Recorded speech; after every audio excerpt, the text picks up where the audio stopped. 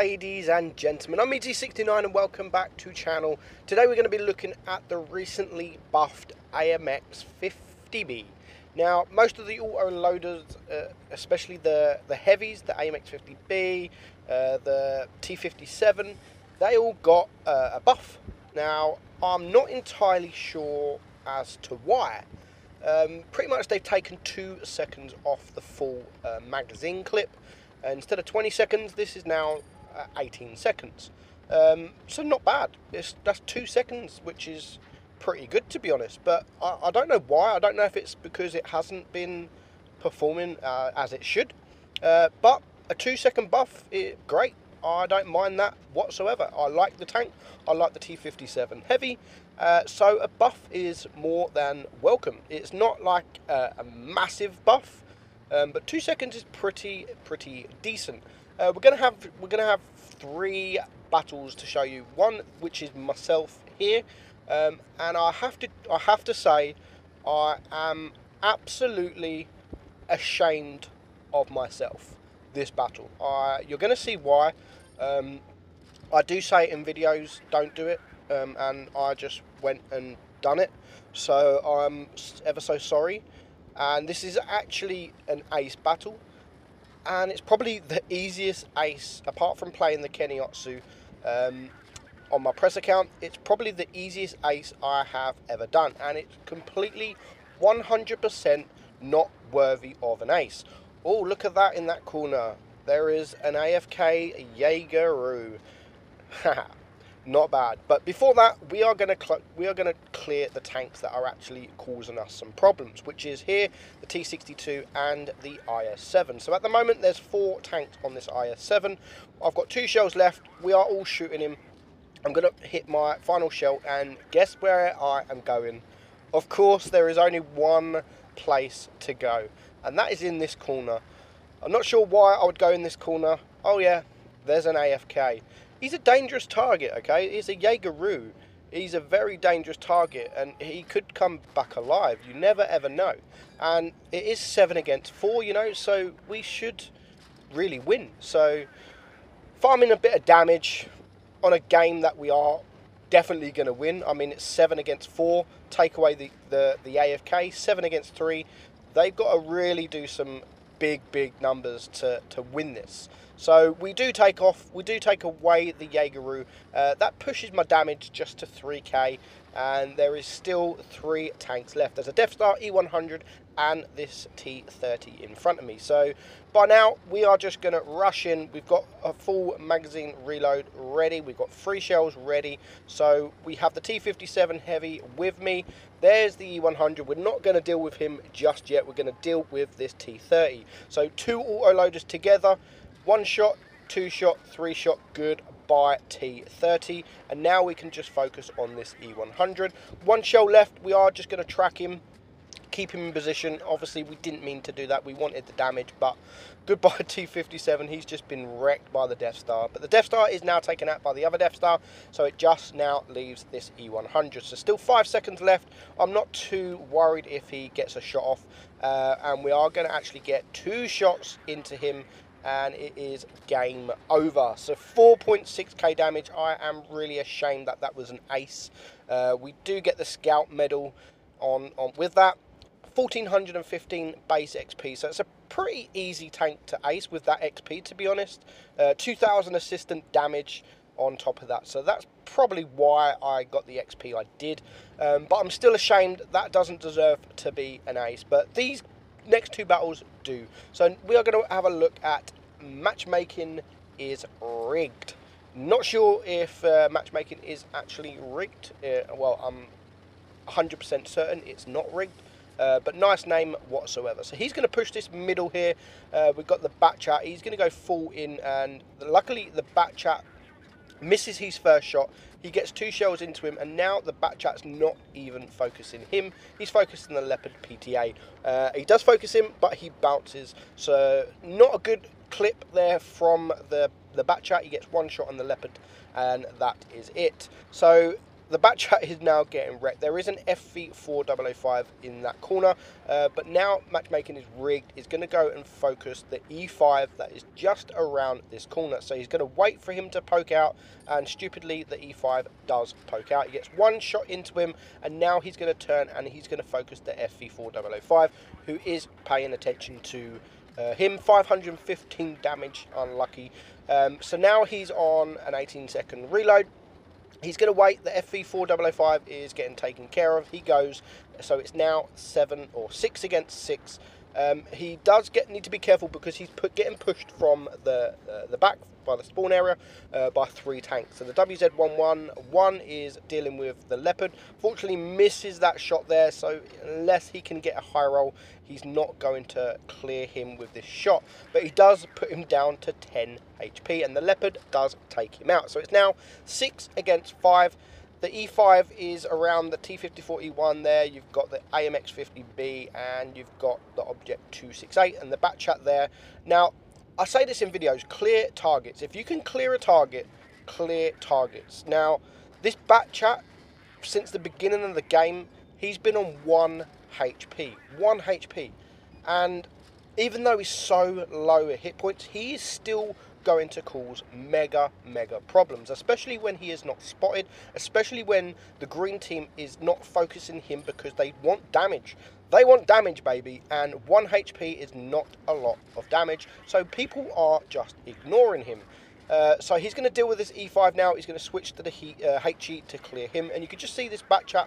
He's behind. I'll have a quick look and then I'm going to not focus him.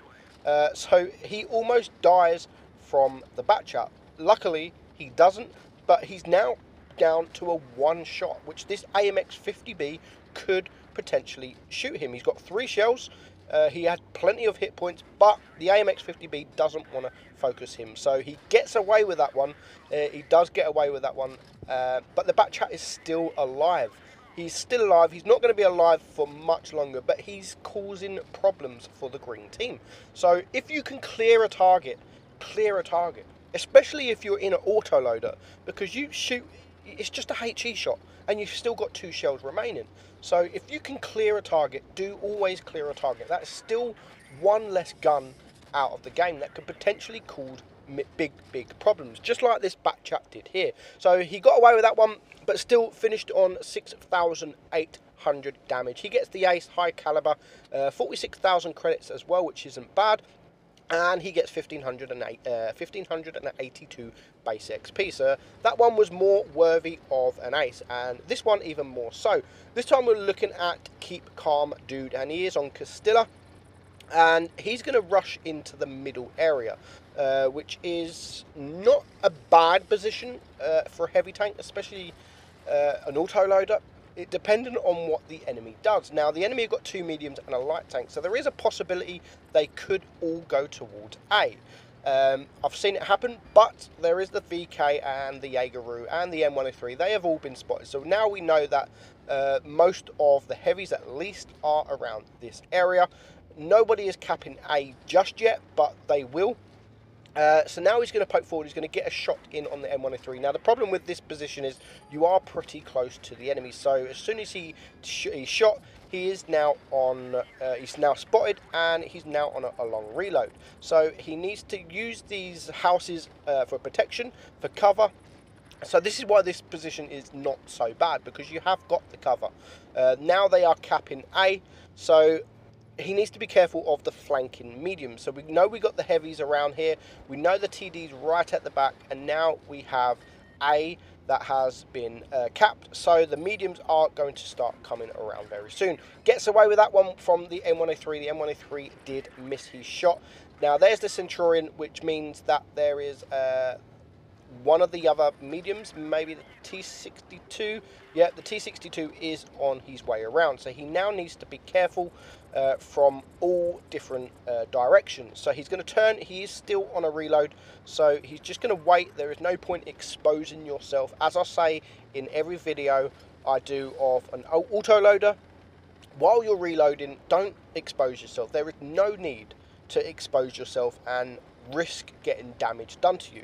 Uh, as soon as you're reloaded, yes, you can uh, like he's doing here, he's going to go and chase the T62. Unfortunately, by the time he gets there, the T62 is not going to have many hit points left. He is a one-shot, uh, and he does manage to clear him. So he's going to go for the full magazine reload, which is perfect uh, because there's no targets at the moment. So you might as well do that reload so you have all three shells uh, in your clip instead of two. So they are losing on cap points. So obviously the cap A has been uh, capped by the T62 and it is six against five. So there's still plenty of time. There's only one cap that has been caught, so there's still plenty of time. Um, but the main target for me here is that uh, that VK. He's causing big, big problems uh, where he is. He is. He needs to get him from the side, and he knows that. He is. He. I think he was on his way, but then the Centurion uh, did spot him. He gets one shot off. Unfortunately, he can't quite get that second shot off uh, until the, the Centurion drops down. Um, you can see he's focused on the Centurion. He does need to be careful from the left side because the VK can actually shoot him through the buildings. But he's going to go and he's going to cap B. Uh, so at least that is one cap and luckily gets that bounce there and just in time to cap the base. He does get a nice shot on the Centurion, uh, so the Centurion is now low hit points, but it's 4 against 5, so there's still a lot of work to do. He's now on a 5 second reload, the Conqueror is on his way, he is a one shot, um, but he's going to go for the VK, which is a perfect, perfect uh, situation. Two shots there, and just before he releases his third shot, he does get killed by the Batchat. So now that is bring it down to a 4 versus 3. There's a Centurion, a Jaegeru, and a Batchat. Now the Centurion don't know what he's doing. He decides to push just before uh, Keep Calm reload his three shots. So he's going to get one shot off, uh, but that is all he's going to do. So he's going to shoot him twice, one shell remaining. Again, he's going to go for that full magazine reload, which you should always, always do. If you've got no targets on an autoloader and you've got one shell or two shells, just reload the full clip. Uh, there is no point keeping one or two shells because you might need the three shells. Uh, so now he's reloaded. Uh, the Batchat is there who actually does a pretty good job. I don't know if he's been sat there all battle just farming damage from the VK uh, that has been spotting all the all, all the tanks, uh, but he actually does some good damage. Now it's three against two. There is this T30 who is pretty low hit points. I think he's going to get taken out by the camping Jaegeru, who has been sat at the back all battle. There he is. Uh, I don't think he's actually moved at all. So Keep Calm is going to go and he's going to try and get around to see if he can get any shots. Now the Batchat takes out uh, the T30. Uh, now he's playing it very, very risky. He's spotted and he's gone out. I would wait a little bit longer because now he is a one shot. He misses that shot, but and he also misses or he only tracks the Jaegeru on his third shot. And here he gets very, very, very lucky. He gets one bounce. The bat chat then misses his second shot and I think he's not going to be able to clear him on his third shot. So now the bat chat is on a big reload and he's got three shells, one shot, two shot, sets him on fire, and he is going to clear him with his third shot. So now it's a one versus one. Um, has the Jaegeru moved? We are not sure, but all it is going to take for the Jaegeru to kill the, uh, kill the AMX is a HE shot. But now this is where the Jaegeru makes uh, a vital mistake. If I was the Jaegeru, just stay where you are. Just stay in that corner. You've been sat there all battle. You've been sat there all battle from the from the from the get go. So why decide to move now? Because you're winning on caps. They're on 900 supremacy points, and he decides to flank round. He's going to fluff his shot, and now Keep Calm is just going to clear him with his remaining shells. So bad, bad error there from the Jaegeru, uh, but very well played for Keep Calm, dude. 7,200 damage, five kills. He gets the steel wall, Top Gun, High Caliber, and Bradleys. So that is the AMX 50B. Very nice tank. Uh, the buff was welcome. It doesn't change much, uh, too much, uh, but it's still a nice buff. I'm Meadsy69. I hope you enjoyed the video, uh, video, and I will see you soon. Bye bye.